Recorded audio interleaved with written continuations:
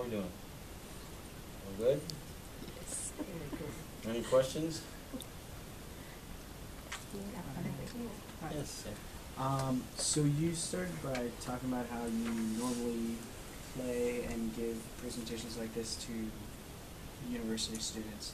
How do they normally react to these presentations? I mean, they're obviously already in a class. Leave me your email address, I'll send you the link to a video uh, that we made of some of the students' reactions. Some of them are open mouthed, like, uh, like this, and some of them are sitting there busy texting. the ones in the back, you know, hard to reach. You have to bear in mind that, um, uh, you know, f- uh, for a lot of university students, courses on world music is an elective that they take for credits. So they say, see a list of, you know, elective courses, and they say, well, that looks like it's not too boring. Let's, let's check that out. And then, the, and then the teacher makes them listen to, uh, you know, some obscure tribe from Ghana or something like that. And they go, why did I sign up for this? Uh, but then that's why they, they drag me in there to try to shake them up a little. Uh, but yeah, the, the reaction's usually pretty gratifying. Yeah, I, I get they, they often ask well when they're music majors, then it gets really interesting. Then these are musicians. That's this is their life. That's what they care about. I've gotten some letters saying that you know listening to this kind of music changed their whole approach to music. It's pretty gratifying. Yes, we have time for questions. Anybody?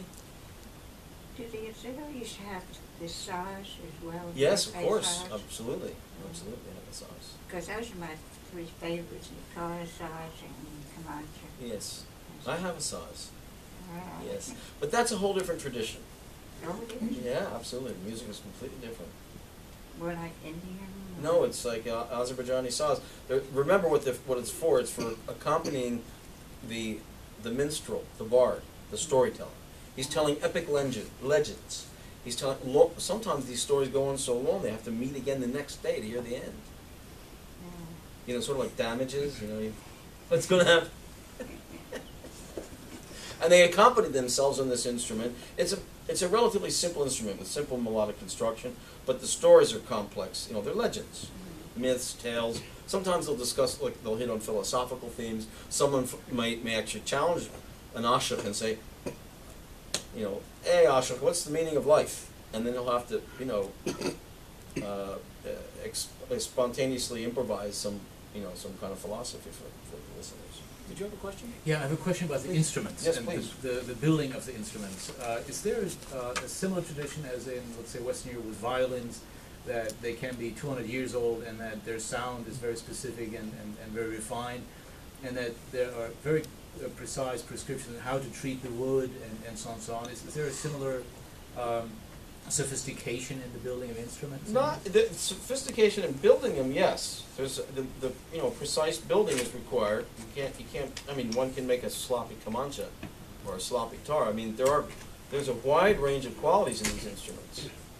Uh, these are pretty good. The ones that I have are I won't say they're the best, but they're pretty good. Uh, I once went to a uh, a violin maker and repairman in, in Manhattan when I lived in New York City because I wanted to get some horsehair. For, and our bows are quite different.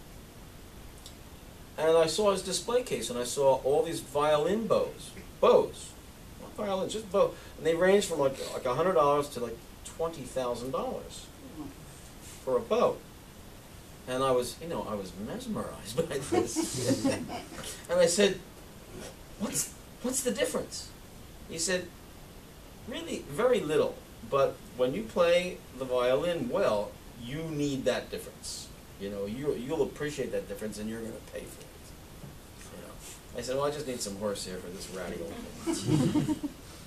and I took that twenty thousand dollar bow and I played. I tried to play the kamancha. Now, it just didn't sound good at all. It was very thin and reedy. This has bite, you know. And this is this is a good uh, bow because I can adjust the tension with my hand. When you're playing this way, you cannot you cannot do that. You have one tension here. You can attack the string differently, the- or you know. But this you can actually modulate the volume by by tensing and relaxing the, as you play, and it becomes instinctive. In the beginning, it's it's kind of like learning to drive a car with a stick shift. You know, you just have to know how to clutch and shift and brake and gas at the same time and steer. and then it all just folds together. It becomes like one. You see how like when I play, there's, there's I don't even know I have fingers anymore. You know, it's just one thing. Do the instruments get better when they, when they age? Not necessarily. Not necessarily, but there's there's a kind of a, a patina about an old instrument that's enjoyable. I've seen some really fine brand new instruments in Baku. They're making great instruments now. Very precision, you know, like like as if they studied with a violin maker to get everything exact. You know, the, the grain of the wood goes this way and all that stuff. Uh, but again, this doesn't this this acoustics of these kind of skin face instruments are entirely different. They don't depend on an arched piece of wood to vibrate in harmony with the other parts. Uh, so you know, it's a, it's it's a uh, it's got a membrane here. And by the way, you see the shape. You probably recognize that. It looks like the uh, a slightly flattened dome of a mosque. You know, we associate that onion shape with uh, with Islam, but the the concept of that shape predates Islam, and has nothing to do with architectural aesthetics. Although that follows now, you know, it's a recognize. Oh, I see. That reminds me of you know Islamic architecture. Of course, there's an association now, but in the beginning, it was purely acoustics, and it's all based on the same geometry that we currently use for satellite dishes, parabolic curvature. These are this is a parabola, parabolic arch. You can't. You, you see this point here? Imagine one here. That's the second focal point, and it's 360 degrees rotated around that parabola. And the tar has 10 parabolas in it, all kind of angling towards each other. So it's a a merger of the ergonomics of how human beings' arms and hands work with the pick and the parabolic. Uh, uh, and only Azerbaijani tar has that, by the way. No other instrument has that. That's why this little guy has such incredible projection. So I'll just show off a little sound here. Look at this little guy.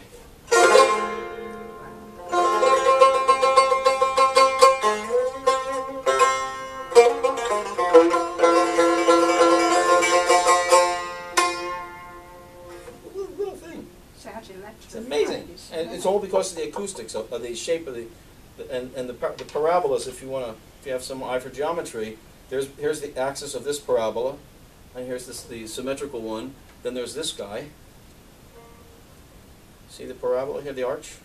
Inside, it's carved like that, and then it has to meet the second chamber. It's very very precise. People say, why did they make it? Is it? Why is it made this way? It's a, it's an ideal uh, in in in. Uh, acoustical instrument that you can hold in your hands like this. Is that where the guitar, is the idea for the guitar, the shape? uh, I had heard? I had heard a story that I like very much about that that the uh, the the uh, guitar came from Andalusia, of course, and the Andalusians came from Rajasthan. How'd they get to how'd they get to Andalusia from Rajasthan? If you look at the map, it goes right through the Caucasus. So uh, I heard that, that the word guitar is the contraction for gitano tar. Because gitano was what they called themselves. More oud? More what? More oud? I've got a request. Do we have time? Oh yeah, totally. Okay.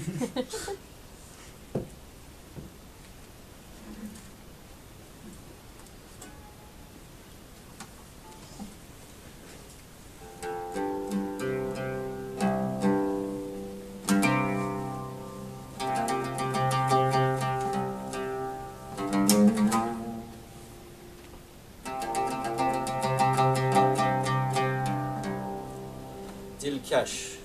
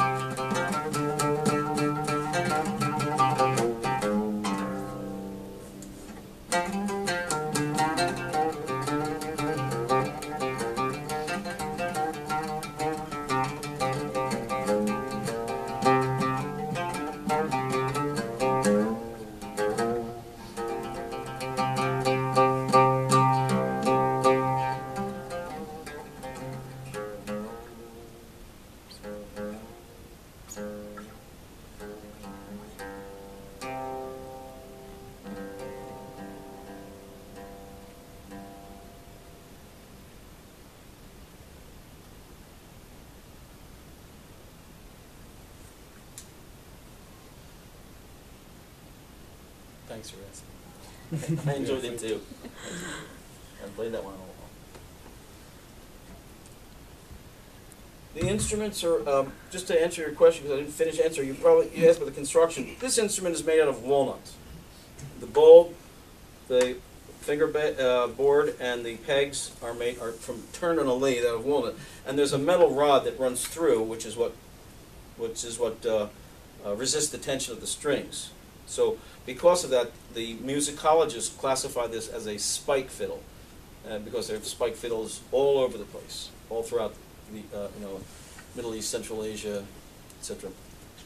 And uh, actually, in Afghanistan, they have one called the gichak, which uh, the soundboard is made out of a uh, an empty gasoline can, and it, it sounds incredibly good. so you know. when you ask about you know the finesse of the Western instruments, uh, you can get amazingly rich sounds out of a piece of tin, you know, with, with, you know, and the right attitude. it's all you do all day long from dawn to dusk for seventy years. You go like this, it's going to eventually going to get that stone is going to get so polished, you know, it's going to be pretty smooth.